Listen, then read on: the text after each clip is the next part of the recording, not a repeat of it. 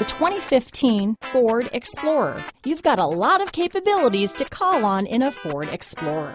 Don't underestimate your choices. This vehicle has less than 30,000 miles. Here are some of this vehicle's great options.